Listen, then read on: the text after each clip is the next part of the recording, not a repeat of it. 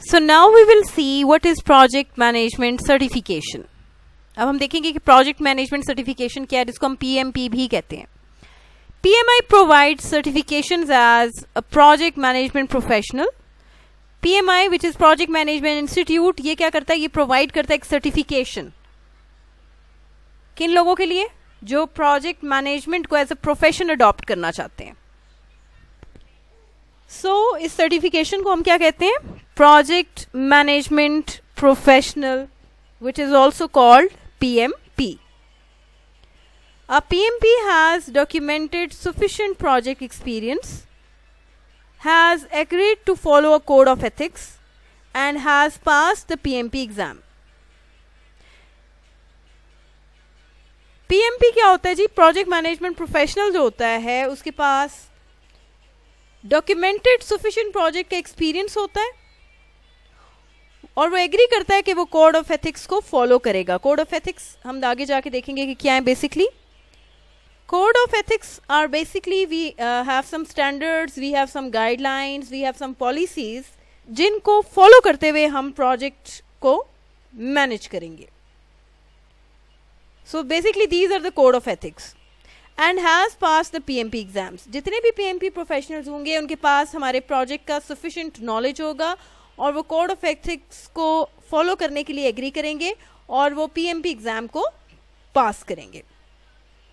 The number of people earning PMP certification is increasing quickly. So day by day अगर हम P M P certification की जो तादाद है, उसको देखें तो उससे हमें पता चलेगा कि पी एम पी सर्टिफाइड जो मेंबर्स हैं, वो बढ़ते जा रहे हैं तेज़ी से.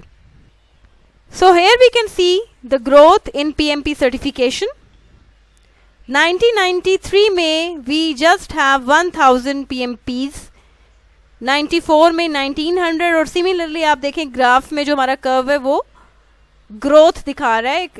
जिसमें 2006 के मुताबिक we have two lakh twenty one thousand and one hundred forty four P M P professionals ethics in project management ethics loosely defined is a set of principles that guide our decision making based on personal values और what is right and wrong basically ethics क्या है? हमारे पास ऐसे set of defined principles हैं guidelines हैं, जो हम कब यूज़ करते हैं, जो हम डिसीज़न मेकिंग में यूज़ करते हैं in order to see that what is right and what is wrong ये देखने के लिए कि क्या ठीक है और क्या गलत है। और प्रोजेक्ट मैनेजर्स जो है, वो अक्सर हमारे पास जो एथिकल इश्यूज़ हैं प्रॉब्लम्स जो हैं, उनको फेस करते हैं। सो पीएमपी सर्टिफिकेशन को अर्न करने के लिए जितने भी एप्लीकेंट्स हैं they must agree to the code of ethics which are defined by the PMI और कोड ऑफ़ एथिक्स क्या set of principles and guidelines which are use for decision making Several questions on the PMP exams are related to professional responsibility, including ethics. So, maximum जो portion होता है हमारे PMP exam में, questions का वो हमारे professional responsibility से related होता है जिसमें एथिक्स इंक्लूडेड है। So now we will see what is PM book this is also called project management body of knowledge twenty years ago P M I volunteers sat down to distill the project management body of knowledge 20 साल पहले जो हमारे पास project management institute के जो volunteers थे, उन्होंने project management body of knowledge जो है उसको रिफाइन किया। अब what is the project management body of knowledge There are some knowledge areas in project management In order to make a project successful, this is important to understand these knowledge areas. एक project को effectively efficiently manage करने के लिए हमें knowledge areas के बारे में complete knowledge का होना ज़रूरी है। So this eventually became the P M book guide now considered one of the most essential tools in profession and is to the de facto global standard for the industry.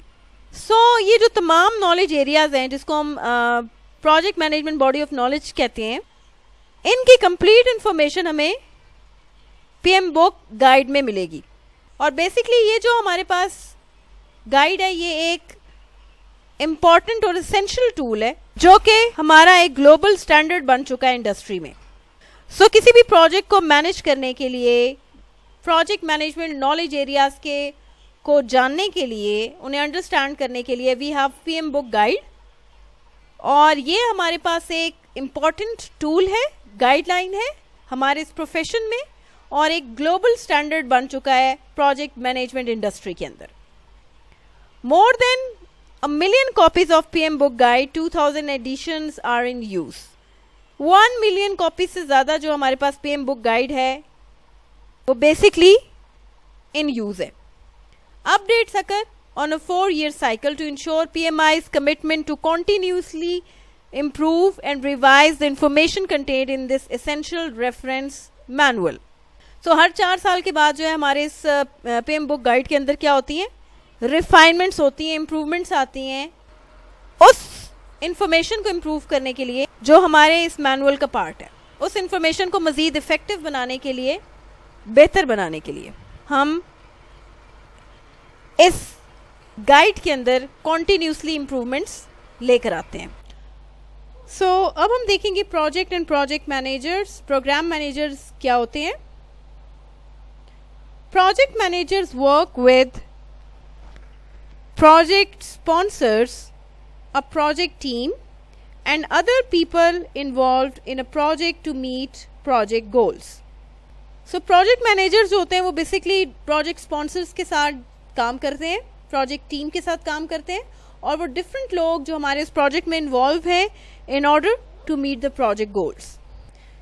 And program is basically group of related projects managed in a coordinated way to obtain benefits and control not available from managing them individually. Program क्या होता है? Programme हमारे पास group होता है different projects का। जिनको हम मैनेज करते हैं एक कोऑर्डिनेटेड वे में सिंक्रोनाइजली ताकि हम बेनिफिट्स गेन कर सकें और कंट्रोल कर सकें। वो बेनिफिट और कंट्रोल जो हम किसी भी प्रोजेक्ट को इंडिविजुअली कंट्रोल करके गेन नहीं कर सकते। सो so, प्रोग्राम के अंदर हमारे पास ग्रुप ऑफ़ रिलेटेड प्रोजेक्ट्स होते हैं जिनको हम मैनेज कर रहे होते हैं और कोऑर्डिनेट कर रहे होते हैं in order to get the control in order to get the different benefits और ये बेनिफिट्स और कंट्रोल हम उनको इंडिविजुअली मैनेज या कंट्रोल करके हासिल नहीं कर सकते। So what is a project program manager A program manager oversee program and often act as a boss of project manager. So so, हमारा जो प्रोजेक्ट मैनेजर होता है वो सुपरवाइज कर रहा होता है एक प्रोग्राम को। जिस प्रोग्राम के अंदर हमारे पास नंबर ऑफ़ रिलेटेड प्रोजेक्ट्स जो हैं वो ऑलरेडी सुपरवाइज किए जा रहे होते हैं कोऑर्डिनेट किए जा रहे होते हैं मैनेज किए जा रहे होते हैं। और बेसिकली जो प्रोग्राम मैनेजर होता है वो हमारे प्रोजेक्ट मैनेजर का बॉस जो है कंसीडर किया जाता है। क्योंकि एक प्रोग्राम मैनेजर का जो रिस्पॉन्सिबिलिटी होती है, वो ओवरऑल प्रोग्राम को मैनेज करना है रिलेटेड डिफरेंट रिलेटेड प्रोजेक्ट्स को मैनेज करना है.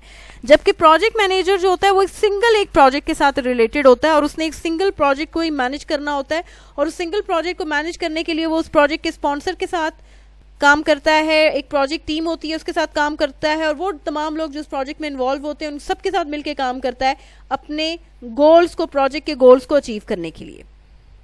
So this is the basic difference between a project manager and a program manager अब हम देखेंगे what is the triple constraint of project management project management में ट्रिपल कॉन्स्ट्रेंट क्या है? Successful project management means meeting all three goals scope time and cost एक successful project project management में उस project को कंसिडर किया जाता है, जो तमाम हमारे पास जो गोल्स हैं, उनको मीट करता है, जो सबसे पहले हमारे पास स्कोप है फिर टाइम है और फिर कॉस्ट है. And satisfying the project sponsor of course project के स्पॉन्सर को सेटिस्फाई करना is one of the major goal however quality is a quadruple constraint. So जो हमारा की कंसर्न होता है that is development of a high quality product successful project कौन सा होगा जो हमारे इस ट्रिपल कॉन्स्ट्रेंट को मीट करे, हमारे स्कोप गोल को सेटिस्फाई करे कॉस्ट गोल को सेटिस्फाई करे और टाइम गोल को सेटिस्फाई करे. And qualities are major concern in this management and development process. So, हम एक प्रोजेक्ट को सक्सेसफुल कब कंसीडर करेंगे? जब प्रोजेक्ट मैनेजमेंट के जो तीन हमारे पास मेजर गोल्स हैं management of scope time and cost इनको मीट किया जाए और स्पॉन्सर को प्रोजेक्ट के स्पॉन्सर को सेटिस्फाई किया जाए।